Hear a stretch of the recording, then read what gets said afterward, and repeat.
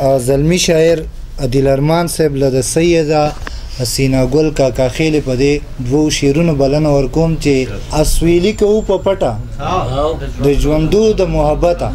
خو په زوره زوره جاړو مونږ د مړو د محبته مولا وایه چې څه وایې که روا که ناروا دي مولا وایه چې څه وایې دا زه هر څه چې کوم د پښتو د محبته عدیل ارمان ګران صاحب د غزل نه مخکې یو څو شعرونه دي چې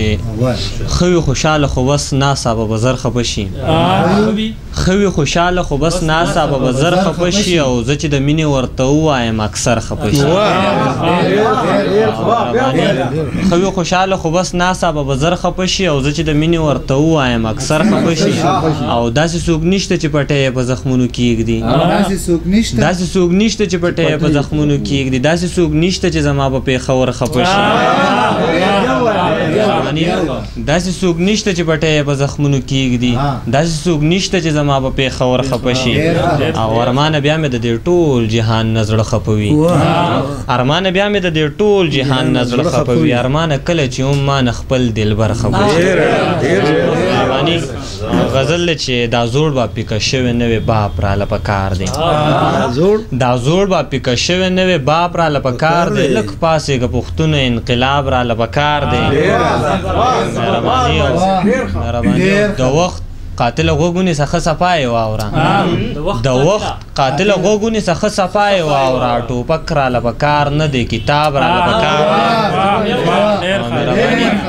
د وخت قاتله غوږ ونیسه ښه صفا یې واوره ټوپک راله په کار نه دی کتاب راله په کار دی او ګران سیوی ستا دې شي دا ټوله باغچه زمړه خیر دی اے ستا دې شي دا ټوله باغچه زمړه خیر دی خو بس دې باغچې نه یو ګلاب راله مهرباني مهرباني اې ستا دې چې دا ټوله باغچه زه مړه خیر ده خو بس د باغچې نه یو ګلاب راله به کار دی او دوزخ لپاره ډیر شی ګناهونه به پکار وي دوزخ لپاره ډیر شی ګناهونه به پکار وي جنت لپاره لک شانته ثواب راله پکار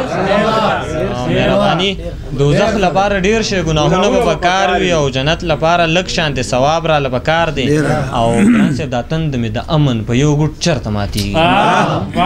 دا تند می د امن په یو ګډ چرته ماتيږي او د تند ماتول له دریاب را لپکار مهرباني او اخرنې شعر د چې ارمانه داسې چپ خوله اوس مه راته ودرېږه ارمانه داسې چپ خوله اوس مه راته ودرېږه ارمانه د سوالونو مې ځواب راله بکار